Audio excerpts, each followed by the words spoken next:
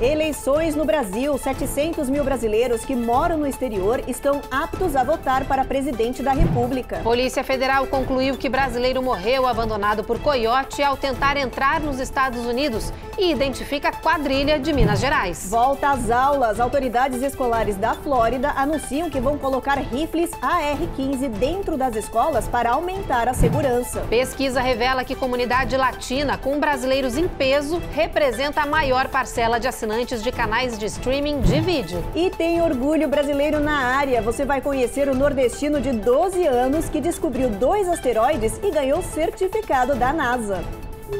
Eu vi o e-mail com ele e tinha lá que tinha achado dois asteroides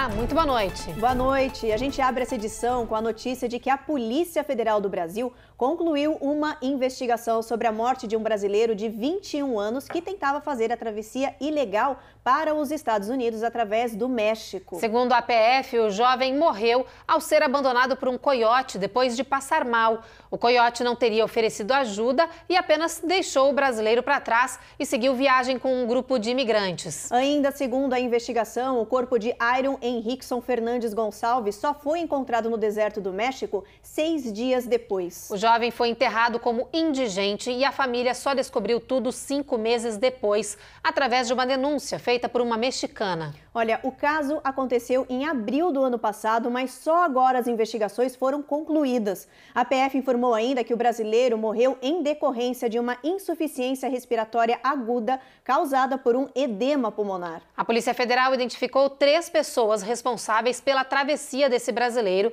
e de pelo menos outras 200 pessoas de Governador Valadares, em Minas Gerais. No esquema, cada um tinha uma função. Um aliciava os brasileiros, outro comprava passagens aéreas e recebia o pagamento de cerca de 14 mil reais, e outro ficava no México gerenciando as travessias com os Além do caso do Iron, pelo menos oito brasileiros morreram na travessia entre México e Estados Unidos desde 2020. Há ainda dezenas de relatos de sequestros, estupros, extorsões e abandonos no percurso. Agora, mudando de assunto, a gente fala de uma pesquisa que apontou que cerca de 700 mil brasileiros que moram no exterior estão aptos para votar para a presidência da República do Brasil na eleição de 2 de outubro. Olha, das 10 maiores comunidades brasileiras no mundo, cinco ficam aqui nos Estados Unidos: New York, Boston, Los Angeles, Atlanta. O restante está na Europa, Paraguai e Japão. A Giovanna Locatelli tem todas as informações para gente. Estão aptos a votar no exterior 697.078 brasileiros, um aumento de cerca de 39% do eleitorado registrado no mesmo período em 2018, última vez que os brasileiros residentes no exterior compareceram às urnas. Com base nos dados divulgados pelo Tribunal Superior Eleitoral no início de julho, o eleitorado no exterior representa 0,43% do total de eleitores que escolherão o próximo presidente da República em 2 de outubro. Esses eleitores estão distribuídos em mais de 90 países e 183 cidades. De acordo com a Constituição Federal, quem mora no exterior pode votar apenas para presidente e vice-presidente. O voto é facultativo para os jovens entre 16 e 17 anos, para os analfabetos e para os que têm mais de 70 anos. Lisboa tem o maior número de eleitores no exterior, com 45.273 votantes. Nos Estados Unidos, país com mais da metade dos 4 milhões e 200 mil brasileiros expatriados, os eleitores estão mais concentrados em Miami, com 40.189, e em Boston, 37.159. A título de comparação, Nova York, onde moram mais de 450 mil brasileiros, tem menos de 28 mil eleitores. Sobre o perfil dos eleitores, o levantamento mostra que em 2022 a maioria, 58,54%, é de mulheres. São 408.055 eleitoras habilitadas. Os homens correspondem a 41,46%, quase 290 mil. Votar é a, arma mais importante que nós temos para exercer a democracia. Né? E é um direito cívico das pessoas. Agora a gente fala sobre a fronteira sul do país. O estado do Arizona está tomando ações polêmicas para preencher as lacunas do muro na divisa aí com o México. E no Texas, um carro cheio de imigrantes que estavam aí sendo contrabandeados para os Estados Unidos caiu em um canal após uma perseguição feita por agentes do ICE. Pelo menos uma pessoa morreu. A polícia diz que o veículo estava cheio de imigrantes indocumentados que haviam acabado de cruzar a fronteira em uma área de El Paso. O motorista teria se assustado ao ver um carro da patrulha de fronteira e acelerou para fugir. Houve então uma perseguição e o veículo caiu neste canal. Dentro dele estava o motorista, suspeito de integrar uma quadrilha de contrabando de pessoas, e sete imigrantes. Um deles, que não usava cinto de segurança, foi arremessado para fora do veículo e morreu na hora. Os outros imigrantes estão sendo tratados em um hospital, um deles em estado grave. Todos estão sob custódia do governo. O motorista foi preso e acusado de evasão de prisão, contrabando, lesão corporal e assassinato. No estado vizinho ao Texas, o Arizona, uma ordem do governador gera polêmica.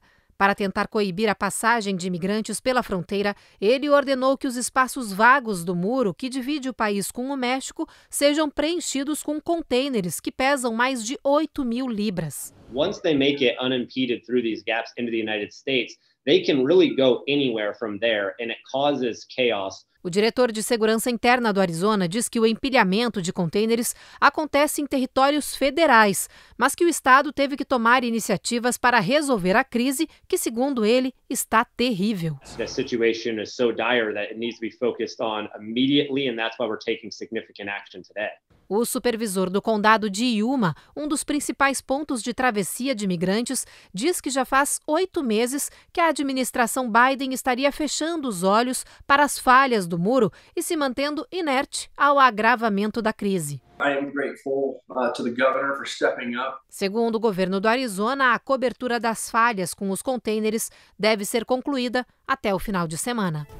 Depois do intervalo, a gente fala sobre uma polêmica das escolas da Flórida. Autoridades anunciaram que vão colocar rifles AR-15 dentro das instituições para aumentar a segurança dos alunos. E a gente mostra também detalhes de uma operação do FBI, a Polícia Federal Americana, que recuperou mais de 80 crianças vítimas de tráfico sexual infantil. A gente volta já já.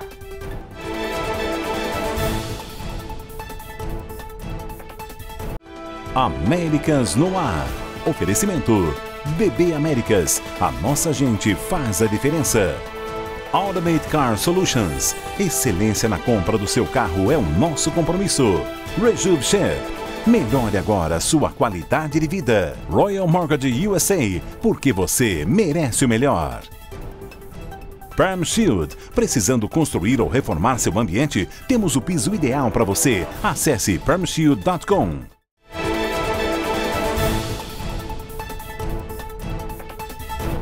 Já voltamos e para falar de segurança nas escolas, vários colégios da Flórida começaram as aulas, mas com uma medida polêmica para manter os alunos mais seguros. Pois é, eles decidiram colocar rifles AR-15 com munição guardados aí dentro dos colégios para enfrentar possíveis ataques. A Carla Marinho tem todos os detalhes.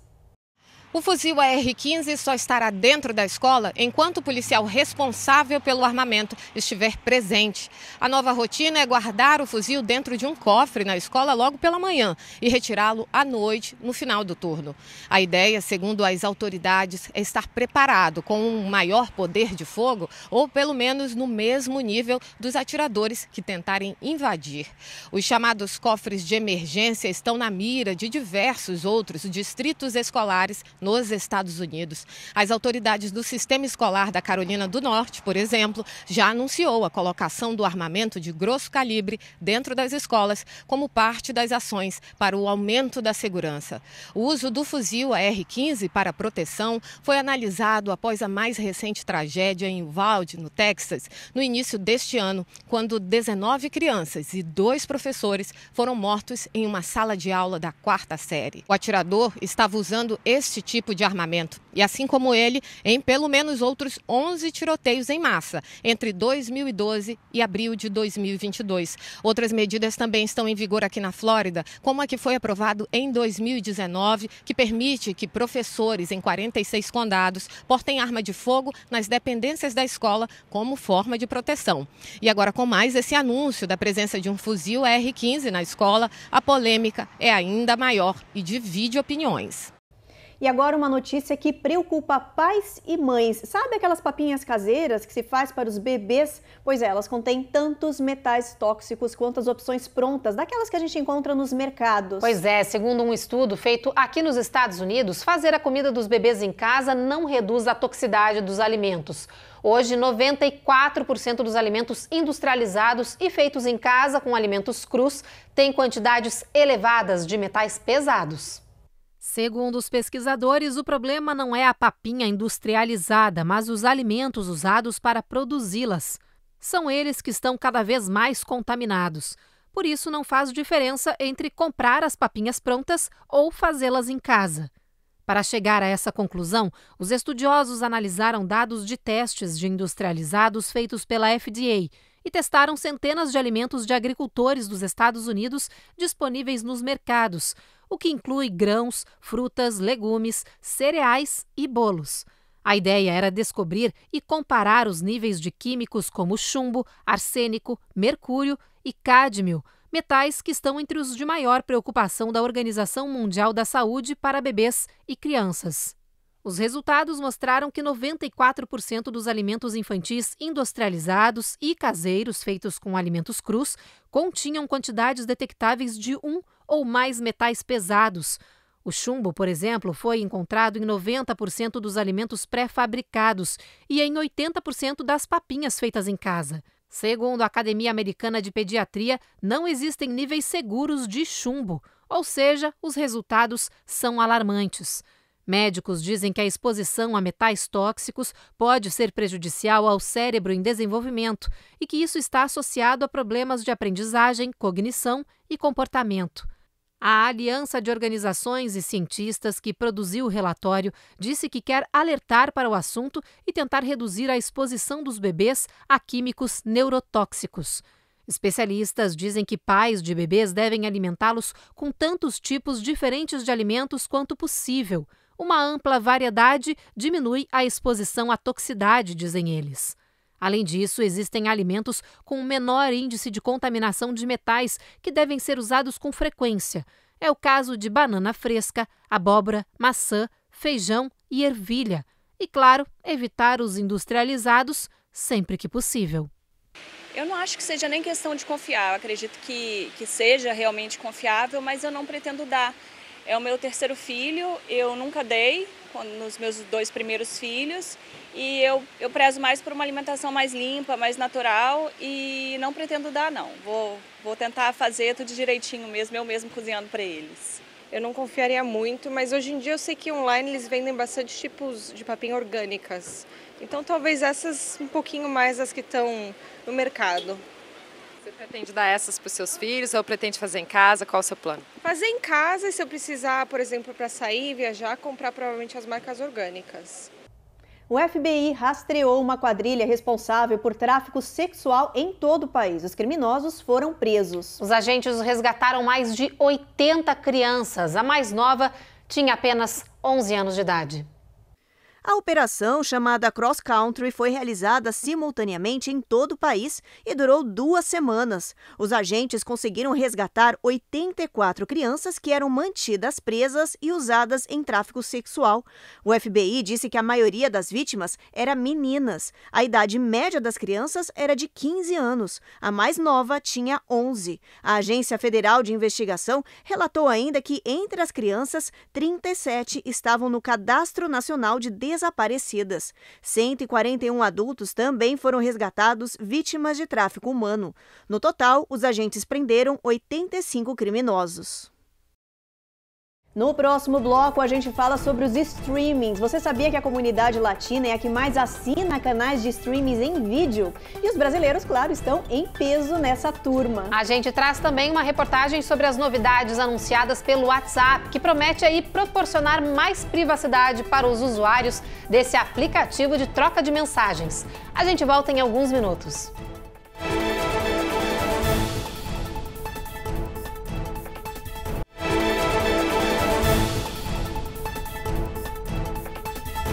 Estamos de volta e com uma notícia curiosa. Você sabia que a comunidade latina é a que mais assina canais de streaming em vídeos? Pois é, os latinos representam 9% desses assinantes, mas em compensação, os atores da nossa comunidade são os que menos aparecem na telinha. Quem conta essa história pra gente é a Eloá Orazen. Estamos diante das telas, mas nunca nelas. A comunidade latina é a maior consumidora de conteúdo de streaming e ainda assim é pouco representada em séries e filmes. Sim, eu concordo. Nós ainda não temos a representatividade que os latinos merecem. Nós consumimos muito é, material, né? muito, muito streaming mas não temos a representatividade ainda.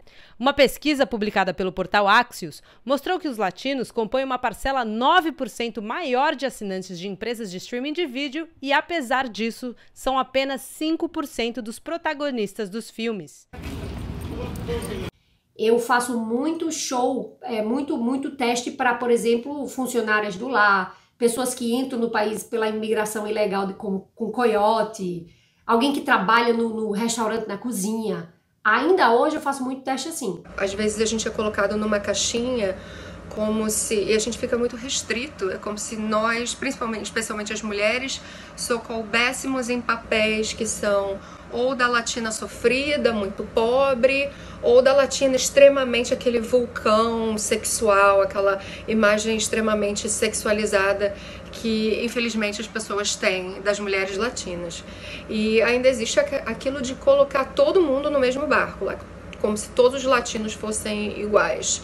É, os colombianos, os mexicanos, os brasileiros, e já começar que nem a mesma língua os brasileiros falam. Nós não falamos a mesma língua que os mexicanos, que também falam é um espanhol diferente dos colombianos. Então, aqui se tem muito isso de colocar aos latinos. Esse abismo que separa o controle remoto do que é mostrado na televisão ainda é gigante, mas ele está diminuindo. E quem é do ramo sabe muito bem disso. Estamos muito mais à frente do que há 15 anos atrás, quando eu comecei, que realmente não tem espaço algum. A minha manager, minha gerente de talentos na época, pediu para usar o nome que eu, que eu tinha na época de casada, que é o nome que eu uso até hoje, que é o Bergman. O marido eu já não uso mais, já foi, mas o nome até hoje eu uso. E o ano passado, a minha agente de talentos me pediu para voltar com meu nome de brasileira, que é de Andrade ou Bezerra. Eu ainda estou nesse impasse aí que nome usar, porque ela disse que é mais fácil me vender como latina. Então, embora não estamos onde deveríamos estar, estamos bem mais longe do que no passado. Sou otimista com o futuro, porque a gente abrindo esse espaço, a gente está abrindo é, um lugar de fala para todo mundo, para que coisas melhores aconteçam, para que produtores abram a cabeça em, em, relação à imagem que eles têm da, dos atores latinos e de, de outras etnias também. Então, acho que vai ser bom para todo mundo. E agora a gente muda de assunto para falar de WhatsApp, o maior aplicativo de mensagens do mundo, anunciou novas regras de privacidade. Pois é, essas novas medidas chegam depois de muitas reclamações de 2 bilhões de usuários que criticaram os diversos mecanismos de sistema. Entre as grandes novidades, destaque para quatro itens. No primeiro, o usuário vai poder entrar e sair de grupos de forma oculta, sem ser dedurado pelo sistema. O segundo é que o usuário vai poder esconder que está online ao abrir o aplicativo. O terceiro destaque é para mensagens deletadas. Antes, só era possível apagar uma mensagem enviada para todos em até uma hora. Agora será possível apagar as mensagens até dois dias depois de enviadas. O O quarto item anunciado pelo WhatsApp será a visualização única de prints na tela de conversa. Uma vez visualizado, a foto será apagada para não ficar registrada. Algumas dessas mudanças já estão em prática, outras vão ser implantadas nas próximas semanas. O WhatsApp é de propriedade da empresa Meta, que também controla o Facebook. O proprietário e CEO Mark Zuckerberg disse que essas ações estão sendo tomadas para manter as mensagens mais seguras, como conversas face a face. No ano passado, 2 bilhões de usuários do WhatsApp reclamaram das políticas do aplicativo e dos dados compartilhados com o Facebook. As últimas atualizações do WhatsApp são muito bem-vindas pelos seus usuários. O aplicativo, que está entre os mais utilizados pelos brasileiros, vai permitir agora que você tenha maior controle sobre a sua exposição dentro da ferramenta. Essas atualizações vão permitir que o WhatsApp seja uma ferramenta ainda mais interessante, relevante e produtiva no seu dia a dia. Depois do intervalo, você vai conhecer o brasileiro de 12 anos que encontrou dois asteroides e ganhou até um certificado da NASA pela descoberta. E a gente fala sobre os desafios financeiros dos solteiros, principalmente agora durante a crise da inflação alta. É que uma pesquisa mostrou quais são os cinco principais pontos onde os solteiros gastam mais do que os casados. A gente volta em instantes.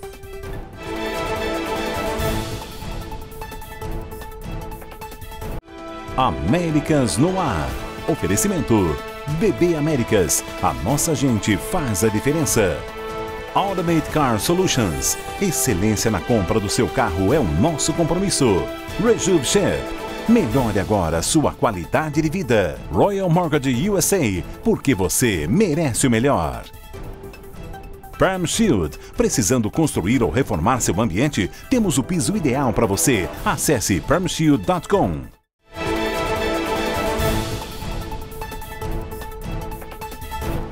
Já voltamos e para contar a história de um brasileirinho que conseguiu sozinho descobrir dois asteroides no espaço e ele tem só 12 anos. Pois é, olha, esse feito incrível virou destaque lá no Brasil e aqui nos Estados Unidos também. Esse nordestino ganhou até um certificado da NASA. Raul Aires descobriu os asteroides em casa mesmo, olhando na internet. Ele se inscreveu num site de pesquisa astronômica e, com isso, conseguiu acessar imagens de um mega telescópio da NASA que fica no Havaí. Aí não demorou muito e veio o resultado que surpreendeu até mesmo o garoto. Sim, eu estava na escola e quando eu voltei é, para casa, foi que eu vi o e-mail que eles me mandaram e eu estava lá no quintal de casa, que é lá onde eu que é meu observatório, e meu pai estava lá comigo e eu vi o e-mail com ele e tinha lá que tinha achado dois asteroides e aí a gente quando saiu a gente começou a olhar para as estrelas, meu pai me deu parabéns tudo e foi muito bom, foi uma surpresa. Os asteroides que o jovem pernambucano identificou ficam entre Marte e Júpiter. A NASA confirmou a descoberta e reconheceu o feito do brasileirinho por meio do Departamento de Colaboração Internacional. A agência espacial emitiu até um certificado para Raul, que é exibido como troféu. Além de você contribuir muito para a ciência, é você, tipo, abre vários caminhos, entendeu? Eu achava logo no começo que eu não ia achar nenhum, porque realmente é bastante complicado. Mas, graças a Deus, eu consegui. O garoto estuda numa escola pública em Carpina, interior de Pernambuco. Com a descoberta, Raul se empolgou e quer continuar buscando novidades no espaço. Mas para isso, o menino está pedindo ajuda para comprar um computador. Ele usa o computador do trabalho do pai. A gente está fazendo uma campanha para, uma vaquinha, no caso, para arrecadar dinheiro para comprar um computador para mim. Quem quiser ajudar, basta enviar o e-mail para a família no euaires1@hotmail.com. E agora é hora da previsão do tempo. Vamos dar uma olhadinha, ver como é que vai estar amanhã? Olha, Boston, tempo chuvoso, aí mínima de 62 graus, chuva também em Nova York, tempo encoberto em Washington, mínima de 64, máxima de 80, tempo encoberto em Orlando e Miami também, máxima aí de 92 graus Fahrenheit nessa região. Dallas, sol, máxima de 101 graus Fahrenheit, mínima de 72 graus. Um pouco mais acima no mapa, em Seattle, Washington, sol, máxima de 84 graus, mínima de 64. São Francisco, tempo encoberto, mínima de 62, sol aí em Los Angeles, máxima de 90. E Las Vegas voltou a fazer sol forte aí, máxima de 102 graus Fahrenheit, Evelyn. Mais de três dígitos de novo. Pois é. E olha, agora essa matéria é para você que é solteiro. Uma pesquisa mostrou que ser sozinho pode ser mais custoso, principalmente em meio à alta inflação. Pois é, os solteiros podem gastar mais no dia a dia do que as pessoas que estão num relacionamento onde compartilham as obrigações financeiras da vida. Olha só. Os solteiros estão em desvantagem financeira e, segundo um novo estudo, existem pelo menos cinco motivos para isso. A ideia dos pesquisadores em divulgar esses pontos de diferenças é dar uma mãozinha para os solteiros e tentar ajudá-los a mitigar essa crise que está sendo mais agressiva neles do que nos casais que dividem as finanças. Segundo os estudiosos, o primeiro ponto de desvantagem é que os solteiros pagam mais pelo básico. Isso porque morar sozinho é pagar 100% das contas para manter um teto sobre sua cabeça, o que inclui luz, água, aquecedor e abastecimento de gasolina e de alimentos, que estão com os preços nas alturas. O mesmo vale para compras de imóveis, eletrodomésticos e carros. Além disso, para os solteiros, a recuperação financeira é mais difícil. Se um solteiro passa por problemas como perder um emprego ou ter uma emergência médica, não tem um parceiro a quem recorrer.